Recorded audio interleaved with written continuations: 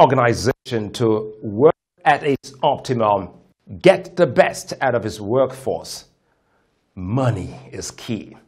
You see, money is for capital and recurrent expenditure, but the money must first be sourced, controlled, managed, and accounted for. This responsibility in the Department of Petroleum Resources falls on the Finance and Accounting Division of the department. How does this division work and what are the internal and external laws and regulations that guide it? You'll get to know after our usual tidbits in the oil and gas industry in a bit. I'm Sulaiman Aled and welcome to today's show.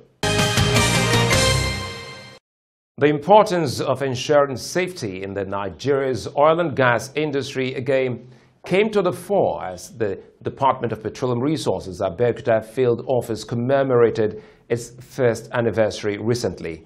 The event was marked with an annual general meeting, an exhibition with the theme Safety is a Collective Responsibility. DPR Abeokuta has truly justified its establishment. Director of DPR, Mr. Mordecai Ladan, represented at the occasion by DPR Zonal Operations Controller Maiduguri Alhaji Idris Ali, said the event provided an auspicious avenue for DPR to interact with marketers for mutual benefits, while the Operations Controller DPR Abeokuta Field Office, Mrs. Muinat Bello Zagi, said the introduction of minimum industry safety training for downstream sector as part of initiatives to improve safety of lives and property in the downstream sector of Nigerian petroleum industry was noteworthy.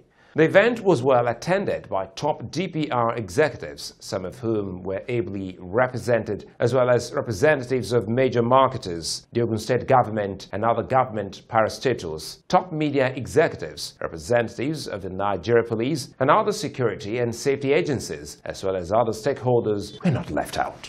DPR Abeokuta Field Office covers the entire Ogun State in terms of ensuring product availability and enforcing the standards. In a related development, the Department of Petroleum Resources, Port Harcourt in Rivers State, has also held its AGM in the frontline city with an impressive turnout of stakeholders.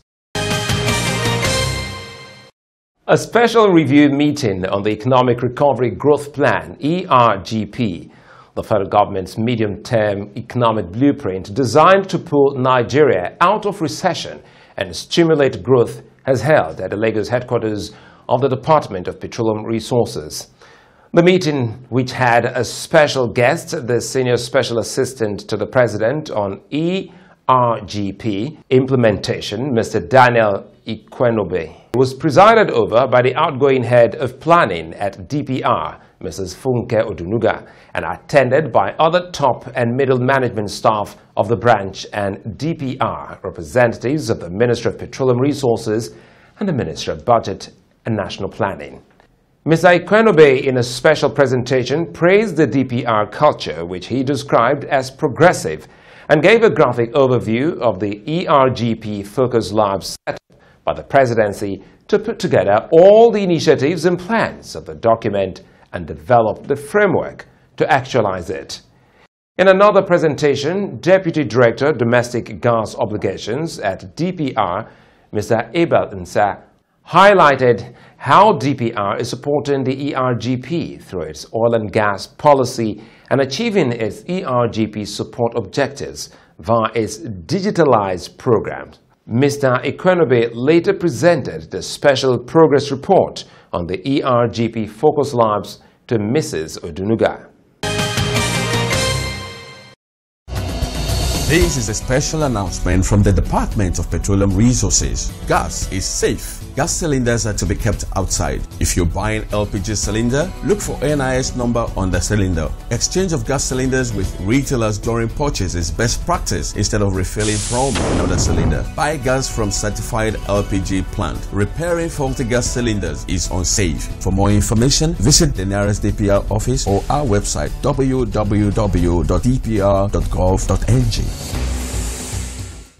Accounting, some financial gurus say, is the soul of any establishment, so also is finance. They both work together to achieve strategic financial decisions in any establishment but maintain transparency. The Finance and Accounting Division of the Department of Petroleum Resources is no exception. A special report on finance accounting has much to tell you. Accounting is an organized system of recording, analyzing, summarizing, and reporting financial transactions of an entity. Analysts believe it is the soul and heartbeat of any organization. However, finance and accounting are two separate disciplines that are often lumped together. At a certain level, finance is the science of planning the distribution of business assets. Accounting is the art of the recording and reporting of financial transactions. But more often than not, we group finance and accounting together because they both deal with the administration of business assets. Those who work in the financial department of any business are concerned with the planning and the distribution of the organization's assets, which include coordination of capital investments and debts-backed investments for the purpose of improving the value of the business. Those in finance also plan the exit strategy for investors of the business. However, those who work in the accounting section of any business are primarily concerned with tracking and reporting the financial transactions of that business.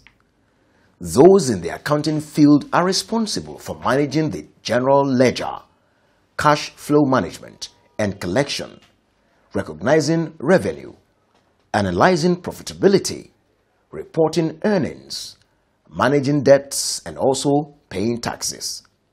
Broadly speaking, finance revolves around planning future transactions in an establishment, while accounting revolves around reporting past financial transactions. Though finance and accounting are two different entities and their functions require different skills, they both revolve around the management of assets. Therefore, they are grouped together more often than not. In the Department of Petroleum Resources, both work together as a division for the betterment of the institution. Hence, in the Department of Petroleum Resources, Finance and Accounting Division, better known as FAD, is the soul of the department. The division's role is huge and very complex. It receives, takes custody of, and disburses all the approved funds of the Department of Petroleum Resources. It operates all accounts of the department, including the central bank accounts, pays all the staff salaries, allowances, fringe benefits. It also pays all third parties for services rendered. The Finance and Accounts Division of the Department of Petroleum Resources ensure that the department is in compliance with all the accounting standards and ensures compliance with government directives on financial management. For instance, the TSA Executive Order. Other roles of the division include ensuring DPR's compliance with financial regulations and guidelines circulars, establishment and maintenance of internal control measures, management of specialized funds and accounts, and maintenance of statutory accounting books and records. The F&A division also prepares the department's budget, defends it before the National Assembly, and ensures its implementation and monitoring. It deducts and remits taxes to the appropriate authorities and renders financial returns. It also attends to auditors' inquiries queries and recommendations on accounts and records of DPR.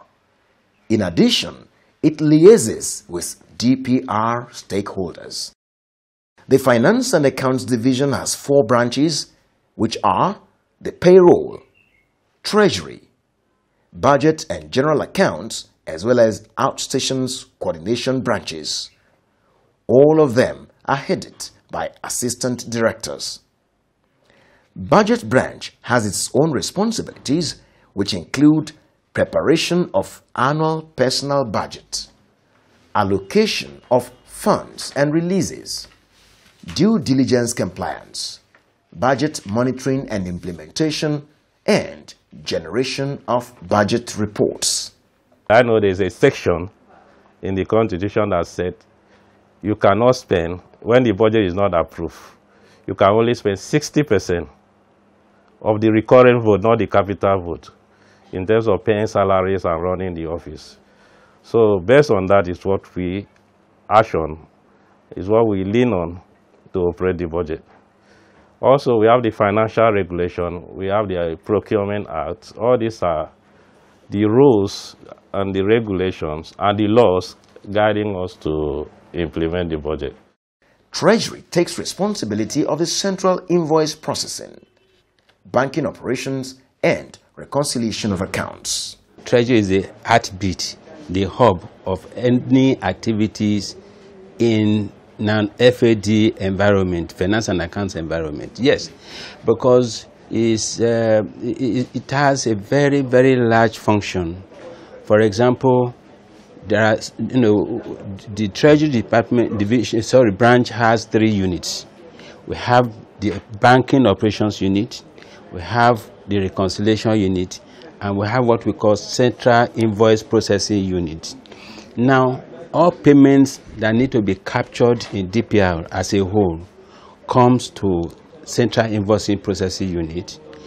This is where the payments are vetted, ensure compliance with financial regulation, and payment vouchers, which is a summary of the payments itself, is issued, and from there is pushed to the banking operations, where they will now again subject it to vetting. They will now do what we call e-payment mandate, and then the, the payment proper will now be made. And after making the payment vouchers, uh, payment, we have to keep the statutory books, and that is where reconciliation comes. The Payroll and Advances Branch prepares the monthly salaries and allowances payable to staff, processes the staff claims, and generation and presentation of staff salary reports. From the first of every month to a particular date of the month, we are open to collect input for the month's salary. And at a particular date, we open the system for implement that coding of the those inputs that we have collected. This ensures that everybody knows the time you must submit your input for us to be able to process those inputs and pay salary on time. Payroll thrives on integrity, honesty, and transparency. There are systems put in place to make sure that or to minimize fraud to the barest minimum. While the General Accounts and Outstation Coordination Branch prepares and submits all the statutory statements of accounts to the supervisory authorities, administering of taxes, dealing with outstation matters, and archiving of official documents. Prepare the financial statement of the department. We also prepare monthly trial balance and submit to the Office of the Accountant General. We do interface with the regulatory authorities, the Office of the Accountant General. They, call me, they send their team of auditors to us to come and audit the department records financially. So we are in charge, we interface with them, we give them what they need. They send, um, the Auditor General also sent his team to us on all the funds given to the department, how we have expended them. So we are in charge of the recording and showing all this to them. However, there are several controls over the operation of the Finance and Accounting Division of the Department of Petroleum Resources. They are internal and external. For the internal controls, they include approval thresholds, segregation of duties, due process structures, tenders committees, budget monitoring and internal audit. For external, the constitution of the country comes first, followed by the Appropriation Act, Financial Regulations Act, Fiscal Responsibility Act, and the Public Procurement Act.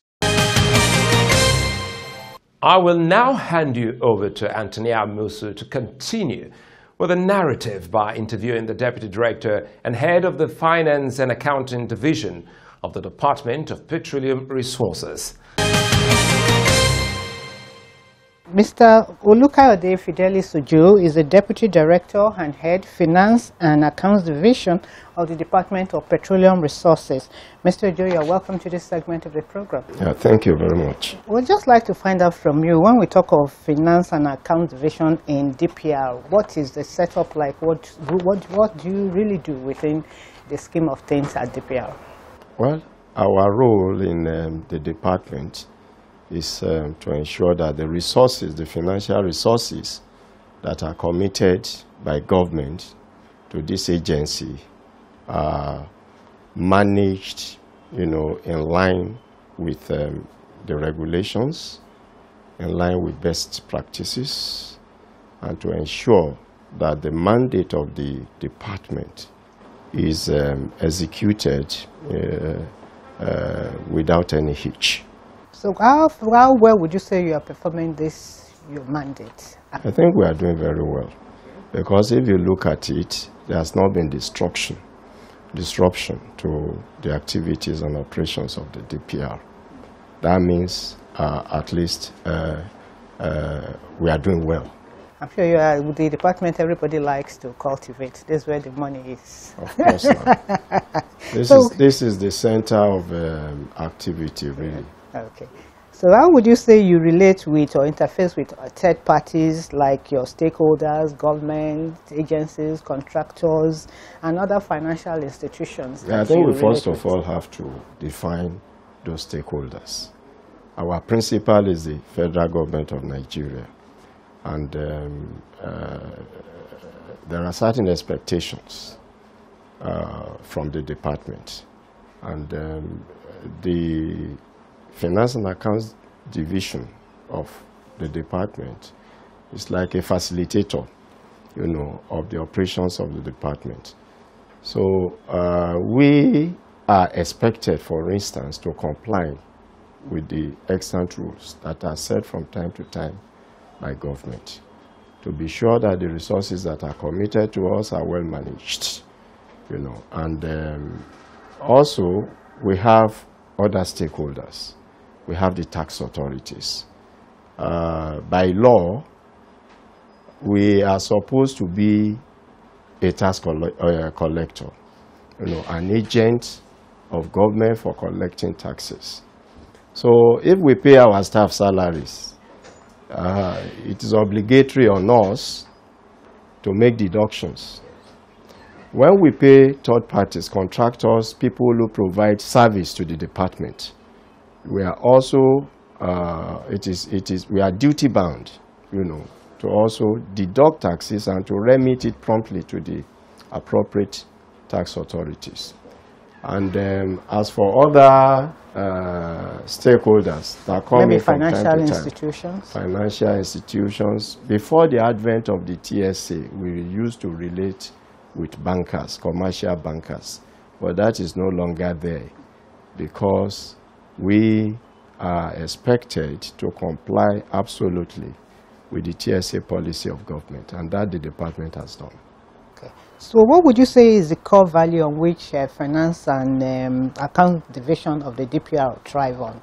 Well, we thrive on um, one of the core mandates or core values of DPR uh, has to do with integrity, with accountability, and with professionalism.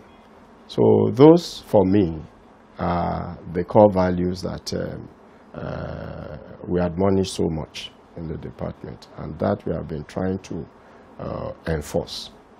Okay, since DPR is the regulator in the oil and gas industry, how, in what way would you say your, your unit is contributing to ensuring that uh, achieves its mandate as the policeman of the oil and gas industry?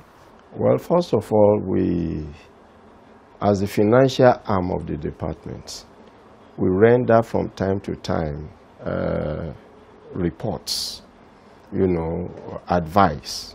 We give uh, management advice to the management so that um, uh, in our relationship with the various IOCs, at least uh, we are able to maximize the value that uh, government is expecting to derive from the operations of these IOCs in the oil and gas industry. I'm sure you, you, your department must be sitting over a huge amount of money.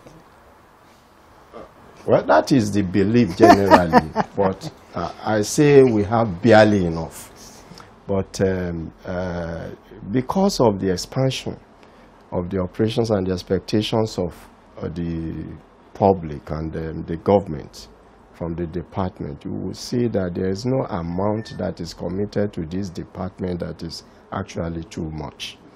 We are daily expanding our operations and it takes a lot of money to be able to run our mandates. You know, we are now established in at least 31 states of the Federation, and that's a lot of running costs on the department. And because we are in the oil and gas industry, this is a capital intensive industry, and we must have to invest on some capital projects.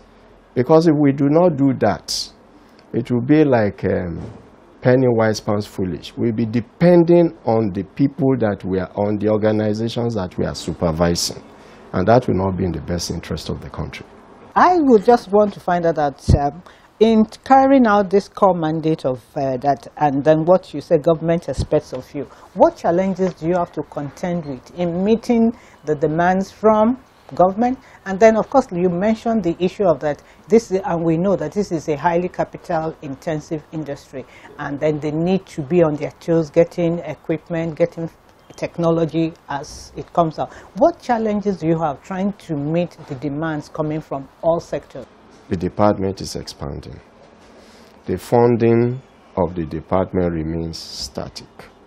You know, we're expanding and we don't have uh, resources, you know, that is, uh, you know, expanding at the same rate. And Uh, again, it's important to know that because of the nature of the operations of the department, we are the regulator of the oil and gas industry. We monitor all the retail outlets in the country. We are still very much short-staffed. Of course, the department embarked on a recent recruitment exercise, but it has only barely augmented what we have on ground.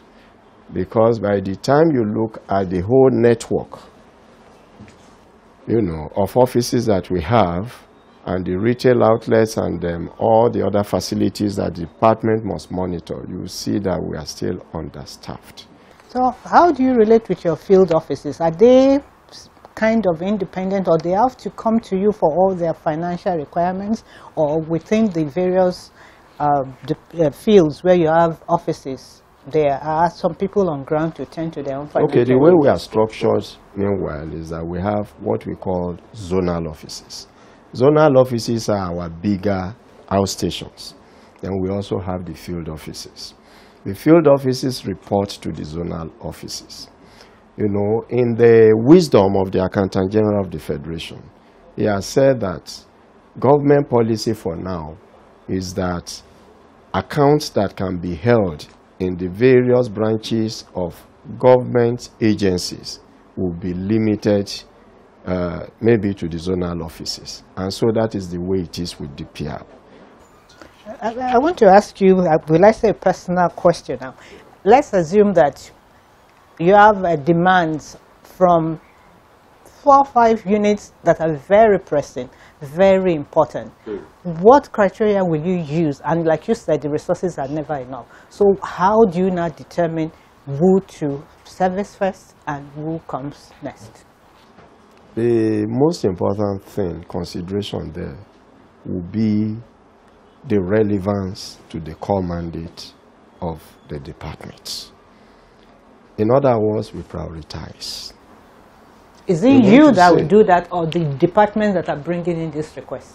It is not the department. I will have to do that in, in um, conjunction hmm, with the accounting officer, who is the director of the Department of Petroleum Resources, whose ruling on the matter, uh, you know, uh, will be the final after it must have been advised, you know, professionally. And um, that's not to say that we will not uh, allow the various divisions that are making those demands, you know, to have an input into the decision. But the, the, the director being the accounting officer and who knows the relevance of each request to the overall mandate of the department we finally uh, make a selection. Do, have you had cause to um, um, placate some of your colleagues who maybe because they didn't get what they wanted at the time they wanted it? Have you had issues like that? That is just normal. You see, when you are sitting in this position, there is no way, just like I said, and you have also uh, agreed, there is no organization that has all its resources. Hmm? So all we have to do within the available, the constraint of available resources is to ensure that the mandate of the organization, the core values of the organization do not suffer in any way. And um, that is what we do. And um, oftentimes our colleagues understand that this is for the overall interest of the department. Thank you very much, Mr. Olukayode Fidelis Ojo, Deputy Director and Head Finance and Accounts Division of DPR. I want to thank you for your time, for explaining what you do in your department vis-a-vis the overall functions of DPR. Thank you so much, sir, for your time. Yeah, thank you for having me. It's that point again where we break, but to return next week. Please join me again next week on same station on the same channel for more interesting expose on the Department of Petroleum Resources. See you then. Bye-bye.